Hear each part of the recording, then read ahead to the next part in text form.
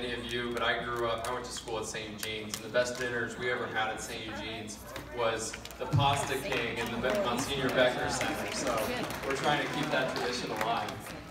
Um, but I, I, do, from the bottom of my heart, want to say thank you for coming out and having dinner with us tonight. Uh, the purpose of tonight's dinner is to really give you all, as supporters of St. Vincent de Paul, a lay of the land and an understanding about the work that we've been doing, particularly in the past year. As you all know, St. Vincent de Paul left its mark in the community since 1981 and actually back into the late 1960s if you count our dining room as being part of the Catholic worker. Was anybody here working in the dining room as a Catholic worker? All right. That's actually really, really spectacular, and that dining room legacy lives on today. Every single day, we're serving over 200 meals out of that place, and we're actually seeing a higher volume of people coming through, and you could speculate as to why, but it's a great thing that you all come out, and this dinner supports those people being able to have a free, warm meal there every day. So please give yourselves a round of applause.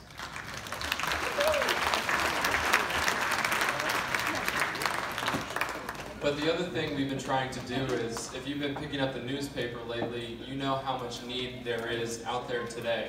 For example, Ron mentioned increasing rents in Sonoma County, the uh, lack of availability of housing. Uh, there's a whole litany of things. Uh, but these things come from something that we know is called systemic poverty. These are the things that somebody who's low income, who may be experiencing homeless, homelessness, or may be vulnerable to becoming homeless, uh, could fall prey to at any moment. And so in the last year, we've really tried to adopt programs to try to target these folks and keep, help lift them out of poverty by targeting these systemic issues. And so I'm going to show you a little bit of what we got into this year, beginning with the fires, rolling into those programs. But St. Vincent de Paul during the fire uh, was a really unique uh, moment for us. We, I woke up at 1, 1 a.m on October, Sunday, October 8th, or it might have been Monday morning at that point, as many of you probably did. I know there's some of you in this room uh, who either know someone who lost a home or lost a home themselves, uh, and our hearts go out to you. But we didn't quite know what to do. I think like a lot of agencies, including some of our public agencies, we were just trying to look for clarity in a moment of chaos.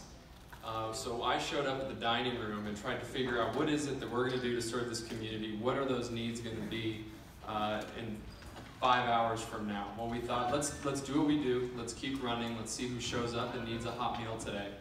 Uh, we had quite a few people show up, but what we identified was, is you know what, we need to actually ramp up the amount of meals that we're providing and get out there to these disaster relief shelters and be able to provide them uh, with an abundance of meals because we weren't sure.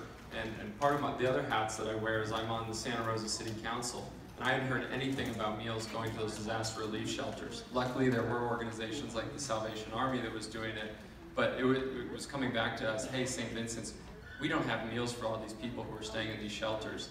So we had this huge, tremendous influx of volunteers who wanted to come in, roll up their sleeves, who were looking for something to put their minds to amidst all this chaos. And it was meals is what we did and what we gave to the community.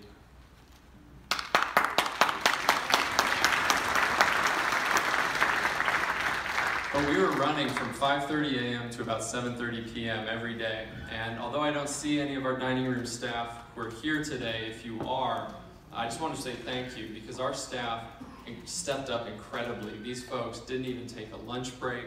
Uh, they were just churning out meals for this amount of time every day for about two weeks. Uh, we also were uh, joined by a number of different people in the community. Uh, I think in about the two weeks that we were churning out these meals, we must have had over 100 volunteers. Here's a picture of some of our volunteers.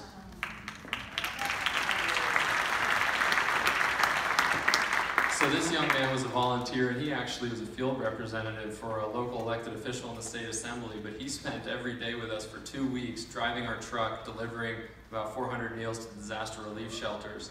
And one of the main shelters we provided food to was the Veterans Memorial Building in Santa Rosa. Was anybody here evacuated to that shelter? A couple of people were. But one, one thing that a lot of people don't know is that was the shelter that took in a lot of hospital patients, residents from the Sonoma Developmental Center. So we were really proud to be able to serve these folks.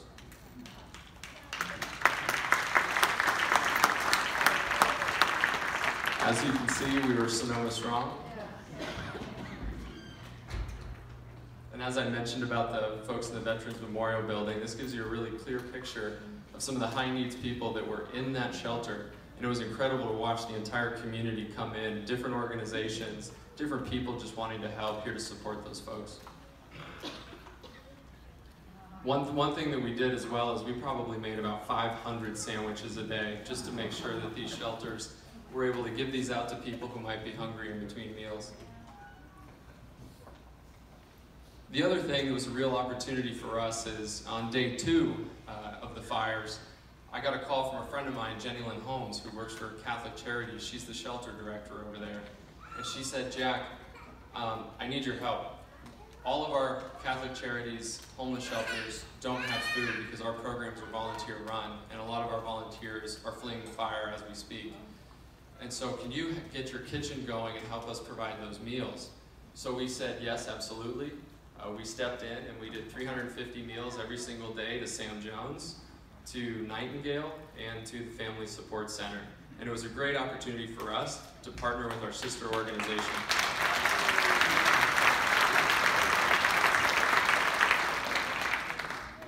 That was just an image of uh, Coffey Park that's all too familiar.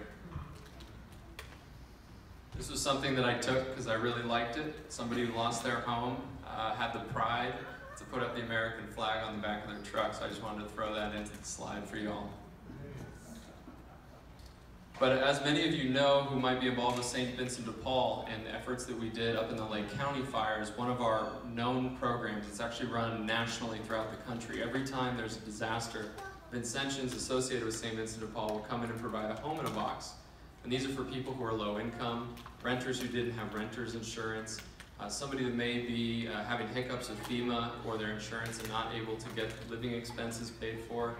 But when folks do eventually get into um, finding a new place to live, uh, it's really sad, but you would be surprised at how many people will sleep in a sleeping bag on the floor because they don't have the money to furnish that house.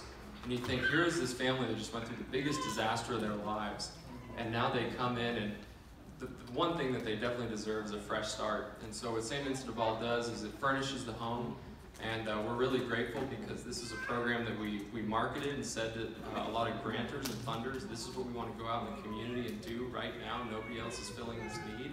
Uh, unfortunately, I want to give a shout out to the people at, from Redwood Credit Union in the back. They actually gave us $150,000 be able to do. And to date, we've provided over 25 families already with House in a Box, and we have 182 on a waiting list, and we're to do everything we can to get every one of them a home in the box. Another thing that we did, actually, just, just really recently, and this is what I love about St. Vincent de Paul, is there's a, an incredible number of nonprofit organizations in Sonoma County that will do any number of good for the community. But one thing I love about this organization is that we're nimble when something goes wrong and if there is a, a, gap in services, we immediately want to run in and provide that service. And luckily we have leadership under our president Ron Plass and our board of directors to be able to do that.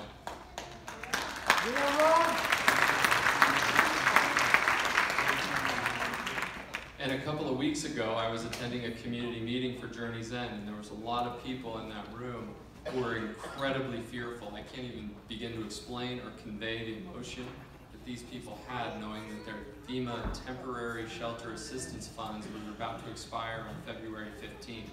I mean, older women, mothers, uh, veterans in tears just wondering, where am I going to go?